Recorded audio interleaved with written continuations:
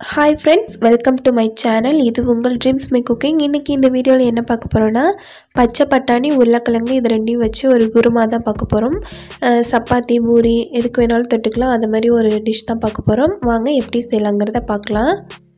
நான் வந்து ஒரு கால் கிலோ வந்து பச்சை பட்டாணி எடுத்திருக்கேன். இது வந்து ஓவர் நைட் வந்து நான் ஊற வச்சு எடுத்திருக்கேன்.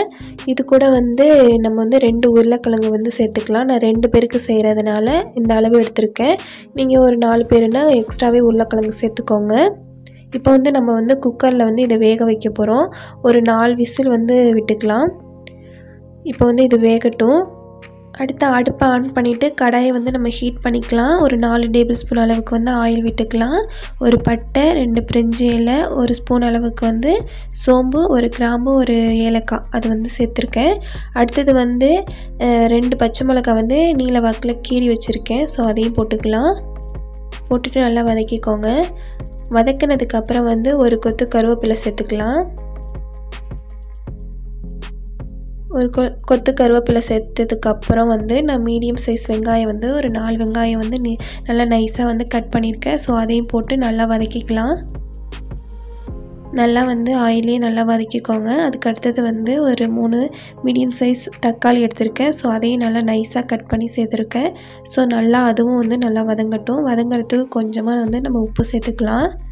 உப்பு சேர்த்துட்டு நல்லா வதக்கிக்கோங்க. நல்லா தக்காளி வதங்கினதுக்கப்புறம் வந்து ஒரு டேபிள் ஸ்பூன் அளவுக்கு வந்து இஞ்சி பூண்டு பேஸ்ட் வந்து நம்ம சேர்த்துக்கலாம். சேர்த்துட்டு அதோட பச்சை ஸ்மெல் போகிற வரைக்கும் நல்லா வதக்கிக்கோங்க. இப்போ வந்து நல்லா வதக்கியாச்சு. ஒரு கால் ஸ்பூன் அளவுக்கு வந்து மஞ்சத்தூள் ஒரு அரை ஸ்பூன் அளவுக்கு வந்து தனி மிளகாய் தூள் ஒரு ஸ்பூன் அளவுக்கு வந்து கரம் மசாலா சேர்த்துக்கலாம். சேர்த்துட்டு ஒன்றரை டேபிள் ஸ்பூன் அளவுக்கு வந்து மல்லித்தூள் வந்து நம்ம சேர்த்துக்கலாம். அதுக்கப்புறம் வந்து ஒரு ஸ்பூன் அளவுக்கு வந்து சிக்கன் மசாலா தூள் இருக்குல்ல இது சேர்த்தோன்னா நல்லா டேஸ்ட்டாக இருக்கும். பட்டாணி குருமாவுக்கு அது சேர்த்தோம்னா நல்லா டேஸ்ட் இருக்கும். ஸோ அதனால் அதை சேர்த்துக்கலாம். சேர்த்துட்டு நல்லா வந்து வதக்கி விட்டுக்கோங்க. நல்லா வதக்குனதுக்கப்புறம் இந்த பச்சை ஸ்மெல்லாம் நல்லா வந்து போகணும். ஸோ அதனால் வந்து மூடி போட்டு ஒரு அஞ்சு நிமிஷம் லோ ஃப்ளேமில் வச்சு நல்லா வேக வச்சுக்கலாம். அந்த மசாலாலாம் இருக்குல்ல அதெல்லாம் நல்லா அந்த ஆயிலே வெந்தால் தான் கிரேவி வந்து சூப்பராக இருக்கும். ஸோ அதனால் நல்லா அஞ்சு நிமிஷம் மீடியம் ஹீட்லேயே வச்சு வேக வச்சுக்கோங்க. அஞ்சு நிமிஷம் நல்லா ஆயிடுச்சு. இதோட வந்து நான் வந்து பச்சை பட்டாணி கால் கிலோ எடுத்துருந்தேன்னு சொல்லலை. அதில் பாதி தான் நான் சேர்க்குறேன். பாதி நான் எடுத்துகிட்டு பாதி மட்டும் சேர்த்துட்டு நல்லா வந்து வதக்கிக்கலாம். வதக்கினதுக்கப்புறம் உருளைக்கிழங்கு சேர்த்துக்கலாம். உருளைக்கிழங்கு வந்து இதுமாரி கட் பண்ணி சேர்த்துக்கோங்க. சேர்த்துட்டு நல்லா வந்து வதக்கி விட்டுக்கோங்க. வதக்கி விட்டதுக்கப்புறம் நான் வந்து பட்டாணி வந்து நான் வேக வச்சுருந்தேன் இல்லையா? அந்த தண்ணியை வந்து ஃபஸ்ட்டு சேர்த்துக்கிறேன். அந்த தண்ணியை வேஸ்ட் பண்ண வேணாம். வேஸ்ட் பண்ணாமல் இதில் சேர்த்துக்கோங்க. அதுக்கு அடுத்தது வந்து ஒன்றரை கப் அளவுக்கு வந்து நான் மறுபடியும் தண்ணி சேர்த்துக்கிறேன்.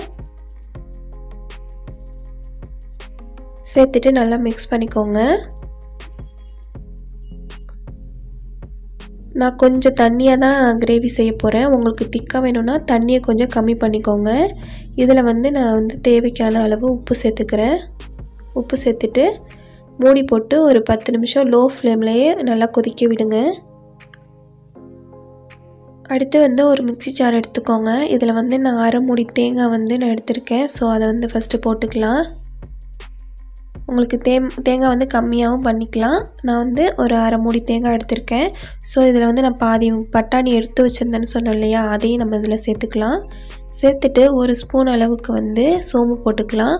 ஒரு நாலு முந்திரி வந்து சேர்த்துக்கலாம். சேர்த்துட்டு கொஞ்சமாக வந்து தண்ணி சேர்த்துக்கோங்க. தண்ணி சேர்த்துட்டு இதை ஒரு பேஸ்ட்டாக அரைச்சி எடுத்துக்கலாம். இப்போ வந்து ஒரு பத்து நிமிஷம் ஆயிடுச்சு. லோ ஃப்ளேம்லேயே வச்சு கொதிக்க வச்சா தான் நல்லாயிருக்கும். இப்போ இந்த பேஸ்ட்டை வந்து நம்ம இதில் சேர்த்துக்கலாம்.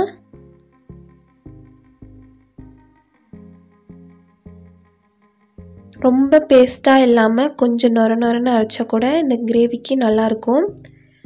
ஸோ நீங்கள் வந்து எப்படி வேணாலும் சேர்த்துக்கலாம். இப்போ கொஞ்சமாக தண்ணி ஊற்றிட்டு நல்லா வந்து கிண்டி விட்டுக்கோங்க. அடுத்தது ஒரு அஞ்சு நிமிஷம் லோ ஃப்ளேம்லேயே வச்சு கொதிக்க விடுங்க. இப்போ வந்து குருமா வந்து நல்லா கொதிச்சிருச்சு. எனக்கு வந்து இந்த திக்னஸ் போதும். உங்களுக்கு ரொம்ப திக்காக வேணும்னா தண்ணியை வந்து நீங்கள் ஃபஸ்ட்டே கம்மி பண்ணிக்கோங்க. அப்போ தான் நல்லாயிருக்கும். அடுத்து வந்து மேலே கொஞ்சமாக கொத்தமல்லி இலையை தூவிக்கலாம். தூவிட்டு கிளறி விட்டுக்கலாம். அவ்வளோதான் ஃப்ரெண்ட்ஸ் சூப்பரான பட்டாணி உருளைக்கிழங்கு குருமா வந்து ரெடி ஆகிடுச்சி இந்த மாதிரி நீங்களும் ட்ரை பண்ணி பாருங்கள் டேஸ்ட்டாக இருக்கும். ட்ரை பண்ணி பார்த்துட்டு எப்படி இருக்குன்னு வந்து எனக்கு கமெண்டில் சொல்லுங்கள்